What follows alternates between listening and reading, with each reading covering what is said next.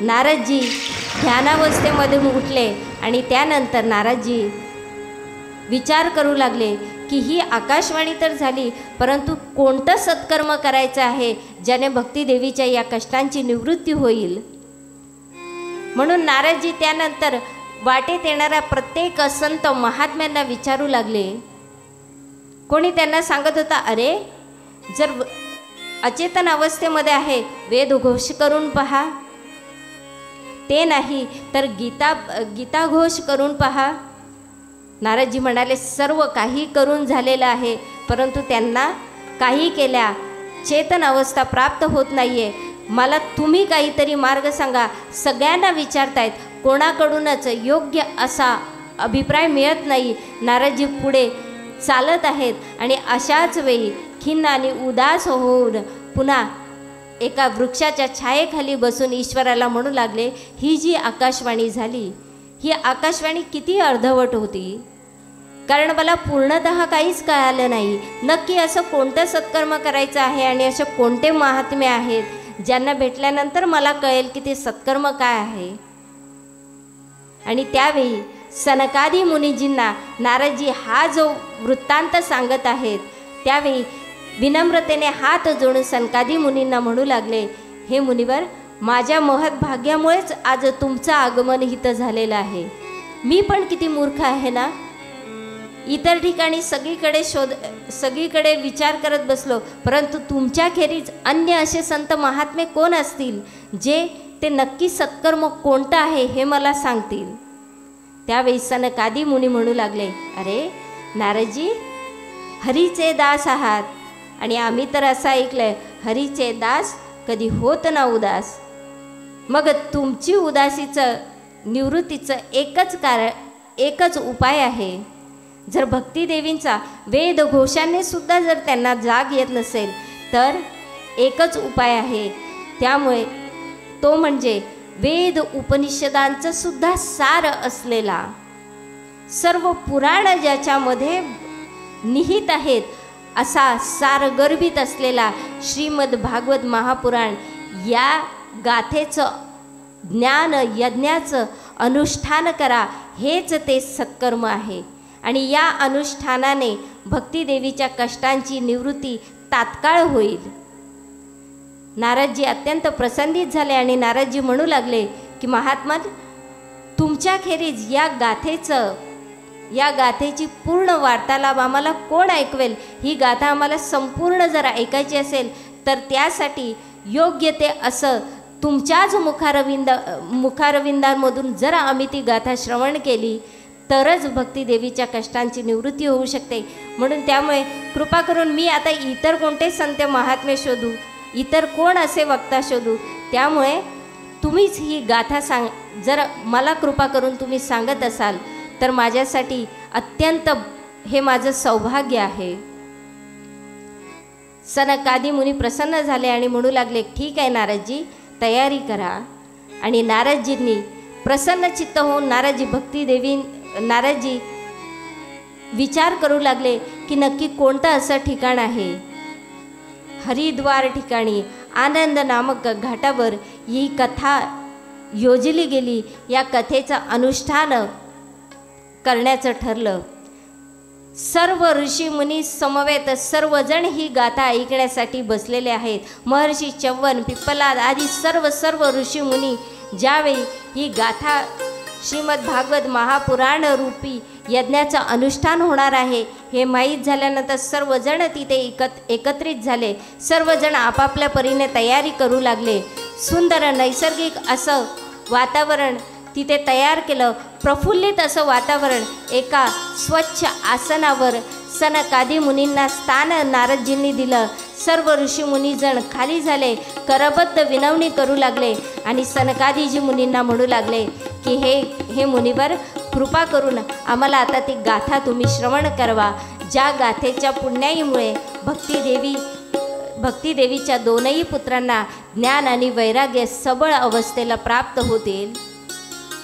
आणि सनकादी मुनींनी या गाथेला प्रारंभ केला आणि म्हणू लागले हे नारदजी श्रीमद भागवत महापुराण म्हणजे वेदव्यासजी द्वारा रचित एक असा अलौकिक ग्रंथ एक अशी अलौकिक गाथा आहे.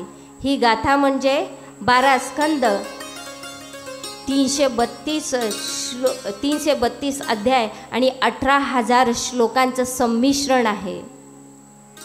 आणि ही गाथा एवढी महान आहे की ही गाथा केवळ जर मनुष्य एकाग्रचित्त होऊन ही गाथा ऐकून जर त्याचं अनुकरण केलं तर ही गाथा नक्कीच फलदायिनी आहे. ही गाथा नक्कीच मोक्षदायिनी आहे. ज्याला जे हवंय ते या गाथेमध्ये त्याला प्राप्त होऊ शकतं. म्हणून मनुष्याच्या जर पापाचा ऱ्हास करायचा अस मनुष्याचे जर पाप निवृत्त करायचे असतील तर केवळ मात्र श्रीमद भागवत महापुराणच एक उपाय आहे. या यज्ञाचं अनुष्ठान केल्या केल्यानंतरच मनुष्य भगवंताच्या परम अशा धामाला प्राप्त होतो. अशा प्रकारे श्रीमद भागवताचं वर्णन श्रीमद भागवताचं महात्म्य सांगत असतानाच तिथे एक आश्चर्यकारक घटना होते. आणि ती म्हणजे आपल्या तरुणावस्थेला प्राप्त झालेल्या आपल्या दोनही पुत्रांसमवेत ज्ञान आणि वैराग्य समवेत भक्तिदेवी तिथे प्रकट झाली. सर्वजण तन्मयतेने गाथा ऐकतायत. परंतु भक्तिदेवीला पाहून सर्वजण आपापसामध्ये कुजबूज करू लागले आणि म्हणू लागले अरे ही सुंदर अशी देवी कोण आहे आणि ही कुठून अचानक कुठून प्रकट झाली? सर्वजण एकमेकांकडे पाहून कुजबूज करतायत. त्यावेळी सनकादी मुनी म्हणू लागले की हे ऋ सर्वांना ही ही जी देवी आहे ही भागवताच्या अर्थामधून प्रकट झालेली साक्षात भक्ती देवी आहे. आणि त्यावेळी भक्तिदेवीने करबद्ध विन विनवणी केली. करबद्ध प्रार्थना करून म्हणू लागली की हे हे ऋषीवर तुम्ही मला आज भागवताच्या अर्थाने धष्टपुष्ट केलेले आहे. माझ्या दोनही पुत्रांना ज्ञान आणि वैराग्यांना सुद्धा सबळ केलेलं आहे. त्यामुळे आता तुम्ही मला आज्ञा आज्ञा करा की मी नक्की कुठे माझं वास्तव्य करू? त्यावेळी सनकादी मुनींनी आग्रह केला की तू भक्तांच्या जे प्रभूंचे भक्त आहेत त्यांच्या हृदयामध्ये जाऊन वास कर. प्रभ सनकादी मुनीजींची आज्ञा प्राप्त करून भक्तिदेवीने तिथे बसलेल्या सर्व श्रोत्यांच्या सर्व ऋषींच्या हृदयामध्ये जसा वास केला जशी हृदयामध्ये भक्ती प्रकट झाली त्यावेळी सर्वजण आनंद विभोर होऊन आनंदाने प्रभूंचं गुणगान करू लागले आणि आनंदाने नाचू लागले गाऊ लागले. श्री कृष्ण गोविंद हरे मुरारी. हे नाथ नारायण वासुदेव श्री कृष्ण गोविंद हरे मुरा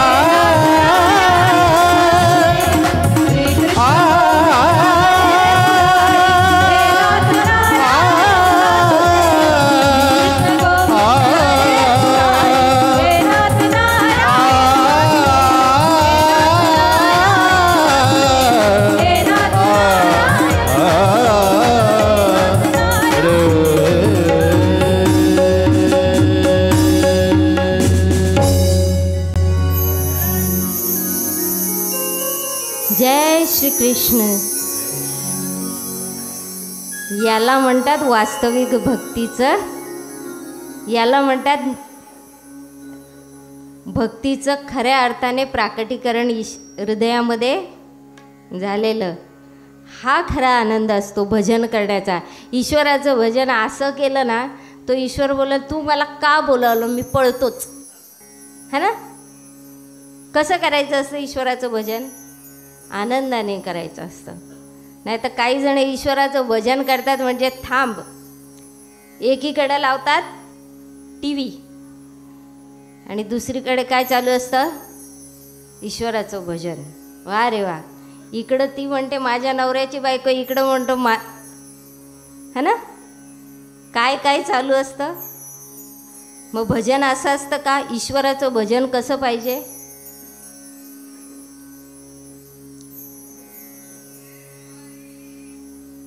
जो आनंद ईश्वराच्या नामसंकीर्तनात आहे किंवा ईश्वराच्या भक्तीत आहे तो आनंद तुम्हाला अन्यत्र कुठेच सापड नाही. कल्पापर्यंत कुठेही फिरा. तो आनंद ईश्वराच्या भक्तीशिवाय जो ईश्वराच्या भक्तीमध्ये जो आनंद आहे ना तो आनंद कुठेच नाही आहे सगळ्या आनंदाची गणना जरी केली ना तरी तो आनंद आणि ईश्वराच्या भक्तीमधला निमिष मात्राचा आनंद हा अत्यंत दुर्लभ आहे. कुठेतरी काहीतरी पुण्य एकत्रित झाल्यानंतरच मनामध्ये भक्ती जागृत होते. कारण ती भक्ती माझ्या किंवा इतर कोणाच्या सांगण्यावरून प्रकट नाही होत. ती भक्ती प्रकट होते. ती सनकादी मुनिजींच्या सांगण्यावरून तिने वास केला ईश्वराच्या भक्तांच्या हृदयामध्ये. जे भक्त ईश्वराच्या ईश्वराच्या प्राप्तीकडे अग्रसर आहेत ज्याचं ईश्वराच्या चरणांच्या ठाई अनुराग आहे ना त्यांच्या हृदयामध्ये तू वास कर कारण तोच अनुराग कायम दृढ ठेवण्यासाठी आणि भ या भक्तिमार्गावर पुढे चालत राहण्यासाठी त्यांना उपयोगाचा आहे. म्हणून सनकादीजींनी आज्ञा दिली की करायचं असेल जर कुठे वास्तव्य करायचं असेल तर इतर कुठेही वास्तव्य केलं भक्ती भक्ती म्हणजे काय आहे? भक्ती म्हणजे जोडणं. जर तुला जोडायचंच असेल ना तर तू प्रभूंना प्रिय असणारी अशी देवी आहेस. जोडायचंच आहे तर त्यांच्या चरणाशी ज्यावेळी तू मनुष्याला जोडशील ना त्या त्यावेळी खऱ्या अर्थाने त्या मनुष्याच्या जीवनाचा लक्ष त्या साध्य पूर्ण होईल. वास्तविक आपल्याला हा जन्मच मिळाला आहे भक्तीसाठी.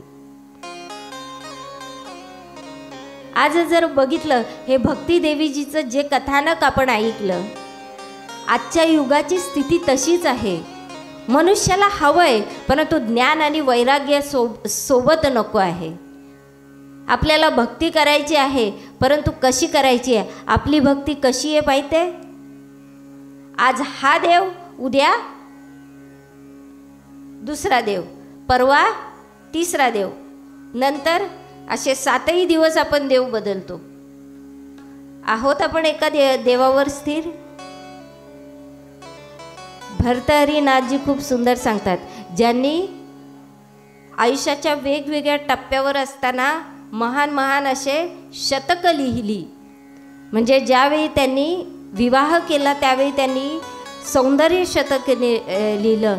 ज्यावेळी वैराग्य मनामध्ये उत्पन्न झालं त्यावेळी त्यांनी वैराग्य शतक लिहिलं तेच भरतहरीनाथजी सांगतात एको एको भार्या दरी वा सुंदरी वा एको देवो शिवो वा केशवो वा म्हणजे एकच भार्या असावी जी सुंदर असू दे दरी वा सुंदरी वा जी कुरूप असेल तरी चालेल आणि सुंदर असेल तरी चालेल परंतु एकच हवी. त्याचप्रमाणे देवसुद्धा एकच असावा.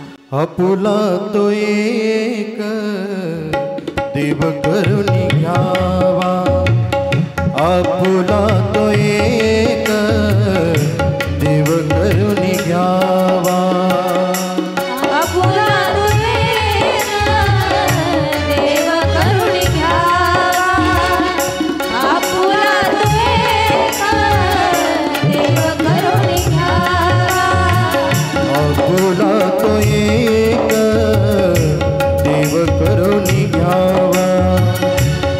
ठेवला तो ये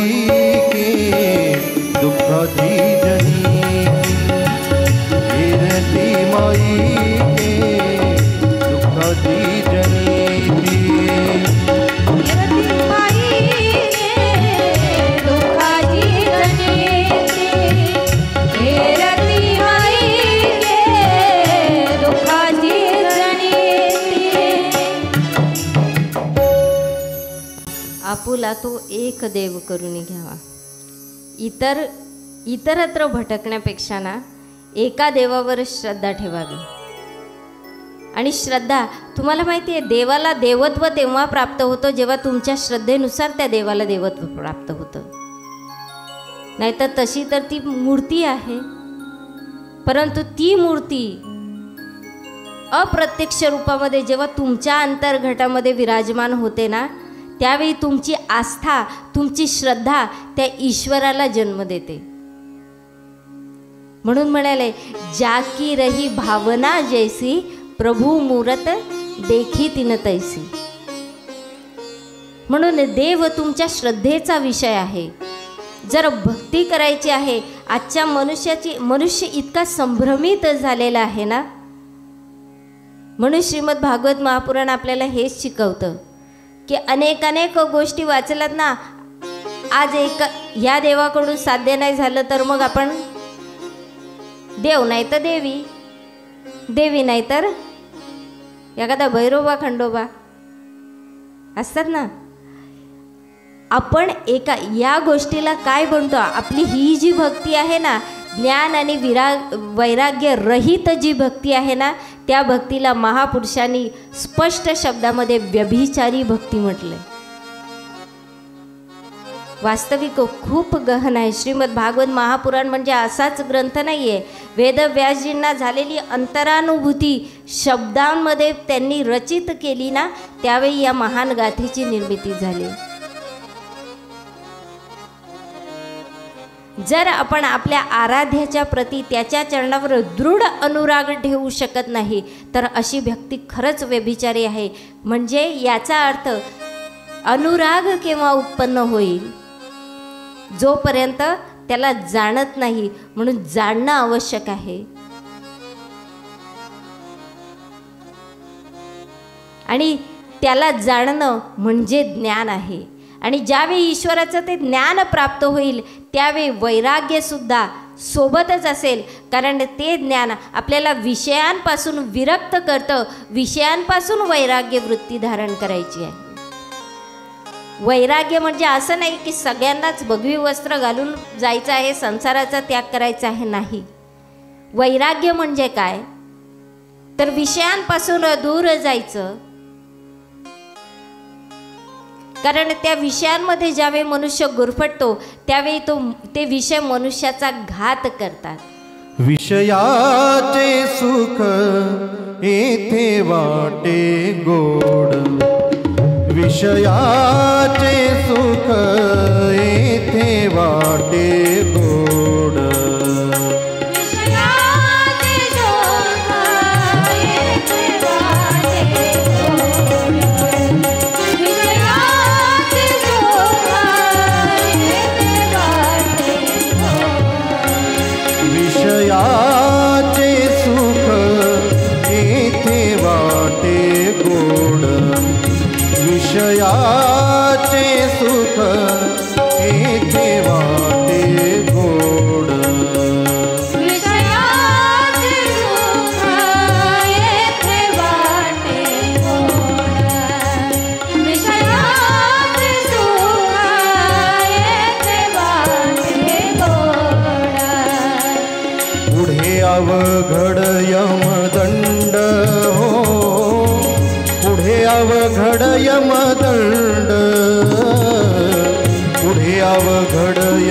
canción.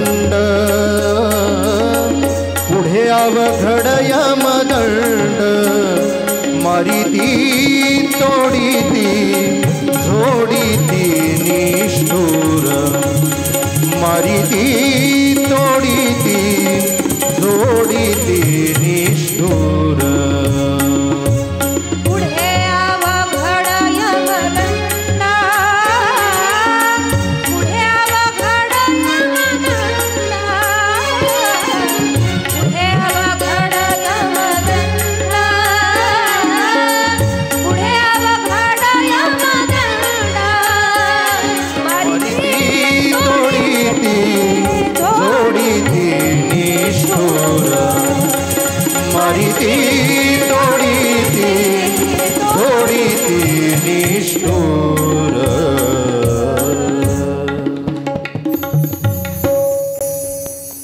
ज्ञान आणि वैराग्य यांच्या सचेतन अवस्थेच्या भक्तीच्या या भक्तीच्या कष्टांच्या निवृत्तीच्या या आख्यायिकेमधून आज हेच जाणायचं आहे. ईश्वराची भक्ती जर करायची आहे ना तर ती अशी देव बदलून भक्ती मिळत नाही. कारण आज आपण देव हजारो बदलू. परंतु आपली श्रद्धा ज्याच्यावर आहे ना मला एक सांगा गौ प्रभू श्री प्रभू श्री रामचंद्रजी सोडून हनुमंतरायजींनी दुसरा कोणत्या? ईश्वराचाच अवतार परंतु इतर कोणत्या याचं ध्यान केलेलं बघितलं? नाही ना?